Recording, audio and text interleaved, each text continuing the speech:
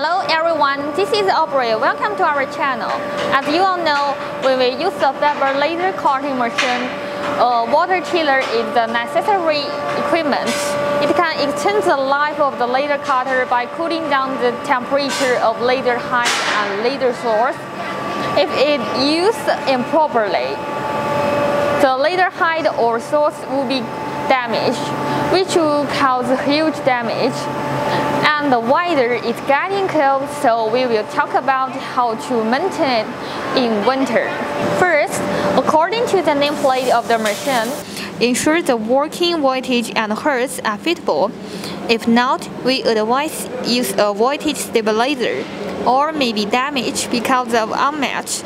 Second, ensure the wires are in good contact and the ground wire grounded to prevent personal electric shock and fire. Third, when the temperature is below 0 degree, it's necessary to replace the antifreeze. We recommend to use Clarion brand. Fourth, the working environment temperature of the chiller should not exceed 40 degrees, otherwise it will alarm or damage. Fifth, ensure the air outlet and inlet channel of the chiller unblocked. Air fan cannot be blocked within 500 millimeters, and the dust-proof nut cannot be blocked within 300 millimeters. 6. Before I turn on the chiller, check the water tank to make sure it fills enough water. When the water volume is insufficient, the cooling effect will deteriorate. If it's not enough according to the season, please fill this the air water or antifreeze. Do not use a circulating pump to drain water. Seventh, if the chiller shut down for a long time and cannot be started, you can gently move the inner blade of the plastic shell at the tail of the motor. If E6 alarm occurs, please check the tips on the chiller and resolve it. Eighth, the filter of the air inlet must be cleaned regularly. It's recommended to clean it at least once a week.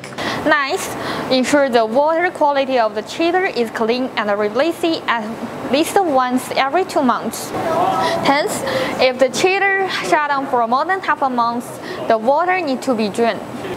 11th, in summer, low temperature water should set about 27 degrees.